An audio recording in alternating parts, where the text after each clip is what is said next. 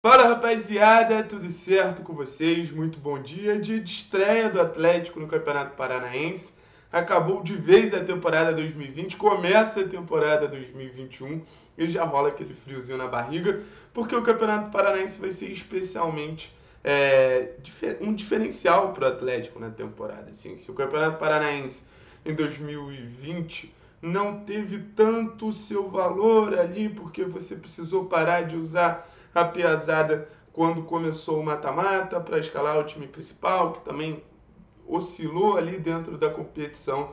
É, a intenção esse ano é usar realmente como laboratório para a gente poder é, ver, potencializar, analisar, entender o melhor posicionamento, as características dos jogadores. A gente já está fazendo essa série de vídeos falando sobre esses principais personagens do time sub-23 do Atlético. A gente já falou do Pedrinho, que acabou saindo, a gente já falou do Mingote, a gente já falou de Cauã, a gente falou é, de vários outros nomes que são importantes. Já falamos do Matheus Anjos também. E dessa vez, no dia da estreia, acho que vale um nome especial, um nome de muito talento, um nome que é realmente diferente e que certamente vai ajudar muito o Atlético, não só no Campeonato Paranaense, porque acredito que vai ser um jogador que vai ser aproveitado aí em Copa Sul-Americana, Copa do Brasil, Campeonato Brasileiro e tudo mais. Sim, vamos falar do Jajá, né? Não é nenhum mistério, vocês já viram aí em thumb e capa.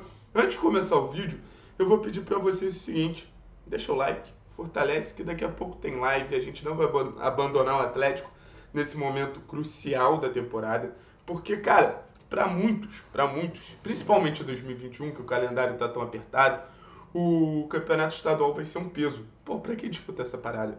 Mas pro Atlético é essencial. Pro Atlético é essencial. Já está sendo feita a limpa no elenco. Alguns nomes, nomes importantes já saíram. Olha, eu posso estar esquecendo alguém que já saiu, mas vamos lá.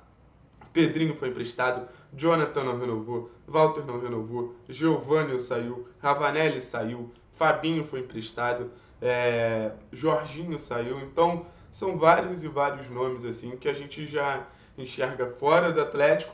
E quem vai preencher essas vagas? A garotada. Menor dúvida que vai ser a garotada. Então esse sub, time sub-23 composto por é, metade ali dos jogadores que voltaram de empréstimo, alguns jogadores da equipe principal e a maioria da base ali do time que fez a temporada sub-20 com a camisa do Atlético em 2020 é, deve compor ali essa equipe e olhando todo o contexto, cara, olhando nosso time, olhando os outros times, a gente provavelmente está falando de um, de um, dos melhores jogadores do campeonato, assim. O Jajá no passado, ele já se destacou no Campeonato Paranaense, a gente precisa deixar isso bem claro. Óbvio, foi o Campeonato Paranaense do Pedrinho, a gente não pode ignorar isso. Pedrinho foi o grande destaque, Pedrinho foi artilheiro da primeira fase, Pedrinho era um jogador diferente ali do Atlético, jogando às vezes como referência, jogando às vezes como segundo atacante, chegou a jogar até aberto, foi um jogador que fez de tudo, foi hat-trick, foi gol importante, foi gol de vitória, foi gol na pequena área, foi chutando de longe. E esse protagonismo que a gente viu é, em relação ao Pedrinho é o que eu imagino no Jajá essa temporada, sabe? Porque na temporada passada, se a gente for recuperar, o Paulo André já falou que ia dar uma segurada no Jajá, o Eduardo Barros falou que ia dar uma segurada no Jajá. Então, enquanto muita gente pedia esse atleta na equipe principal, ajudando ali, enquanto o Atlético não conseguia realmente produzir ofensivamente, o clube já falava: calma, calma. E o Jajá é um jogador muito especial, cara. O Jajá é um jogador muito especial.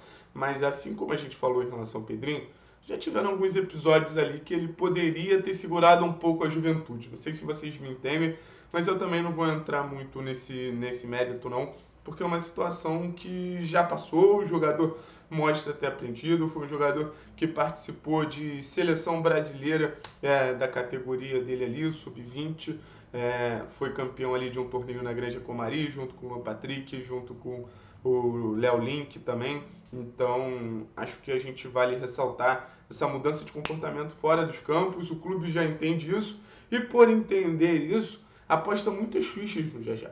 Hoje, se você conversar com pessoas que estão dentro do Atlético, todas vão só elogiar o Jajá. E o Jajá merece realmente esse, esses elogios. Em alguns momentos na temporada é, jogando pelo Sub-20, parecia que eu era um cara de 27, 28 anos jogando contra jovens, que nem tinham jogado no profissional ainda. E apesar do Jajá ter uma, é, uma experiência interessante, assim, ano passado o Jajá jogou Campeonato Brasileiro, ano passado o Jajá jogou Libertadores, ano passado o Jajá treinou várias vezes com a equipe principal. Então, então essa posição de referência, essa posição de craque do time, talvez até craque da competição, também passa pela experiência que o Jajá adquiriu, pela mudança de comportamento, pela evolução do jogo do Jajá. Vocês podem lembrar no passado, acho que foi no jogo em Ponta Grossa, que o Eduardo Barros é, falou depois do Jajá meter dois gols contra o Operário, que ele precisava entender mais o jogo. E se você pegar o jogo do Jajá contra o Operário e o jogo do Jajá contra o Atlético Mineiro na final do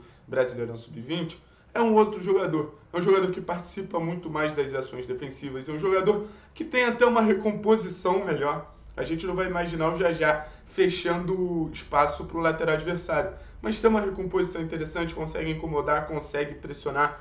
Ele tinha ao lado dele um cara muito bom na pressão, que é o Vinícius Mingotti, que a gente já destacou. Mas não vamos falar do Jajá sem a bola, né? O que importa é do Jajá com a bola. E é um cara porque eu acho o Jajá extremamente diferente.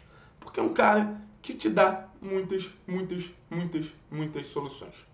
O Jajá é um cara que pode jogar pelo lado do campo e ser o cara de velocidade, de drible. O Jajá é um cara que pode jogar por dentro e ser esse gerador de jogo, como gostam de chamar hoje os mais modernos, o famoso playmaker. O Jajá pode jogar como referência no ataque, sendo o último homem ali, sabe? Então, vejo o Jajá com uma facilidade em se encaixar em várias posições.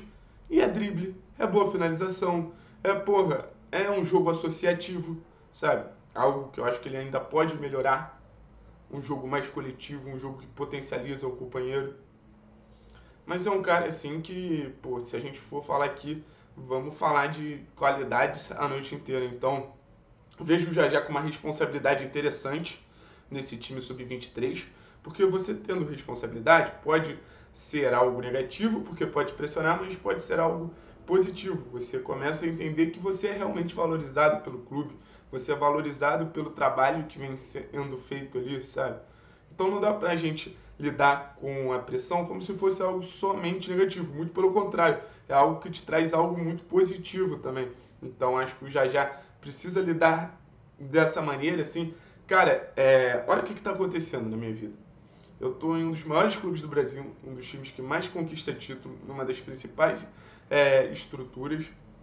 Estão me botando como referência do time, estão me botando uma, com uma responsabilidade é, muito grande, mas já querem me promover para o profissional. Daqui a pouco eu estou entrando no elenco principal com uma certa bagagem, com uma certa moral, sabe? Então já já precisa jogar o Paranaense, mas também com o olhinho na promoção, sabe? Isso não significa, isso não significa que ele precisa ser o destaque do campeonato. Muito pelo contrário. Vou falar a mesma coisa do Jajá que eu falei sobre o Pedrinho. Vai ser mais válido se o Jajá tiver 10 assistências e 5 gols do que é, 12 gols e 3 assistências, sabe? Porque a gente quer ver um cara que consiga ser o cara que potencialize seus companheiros. Da mesma maneira que eu falei ontem do Nicão, cara. Da mesma maneira que eu falei ontem do Nicão que o Nicão potencializa um Carlos Eduardo, que o Nicão potencializa um Kaiser. Eu quero ver um Jajá potencializando o Mingote e os dois se entendem muito bem. Os dois se entendem muito bem. Quero ver o Jajá potencializando um Julimar entrar um Reinaldo. Os dois se entenderam bem também no Paranaense é, da última temporada, sabe? Então, vão ter peças ofensivas o suficiente para formar um grande ataque ali. Do meio para frente, o Atlético está super bem servido. E a cereja do bolo, sem a menor dúvida, é o menino Diego Alves. Então, já já, um recado diretamente para você, meu filho. Se dedica e se comporta. Porque talento tu tem muito. Se dedica e se comporta. É o conselho que eu dou de alguém que já é, estragou muitas oportunidades por ser marrento. Eu sei que tu é marrento, eu sei que tu, tu tem uma marrinha. Então, é, deixa essa marra de lado e pô, se concentra em fazer um grande campeonato paranaense, porque eu tenho toda a fé do mundo que se você tiver bem o Atlético vai ter mais facilidade ainda para ganhar um campeonato que é favorito. A gente não pode ignorar o favoritismo concreto do Atlético. Então, se você tiver bem, se você tiver inspirado, irmão, não tem jeito, não tem jeito, beleza? Então, rapaziada, é o seguinte, deixa eu um aviso para vocês. Daqui a pouquinho a gente começa a live, devemos fazer uma, um pré-jogo de umas 3 horinhas. Vamos assistir o jogo aqui no canal. É, o jogo aparentemente vai passar na rede massa em Curitiba, não sei muitos detalhes porque eu moro no Rio de Janeiro, né? E o que eu posso falar para vocês é o seguinte: vamos que vamos, que a temporada 2021 vai ser legal pra cacete, beleza? Tamo junto, é nóis!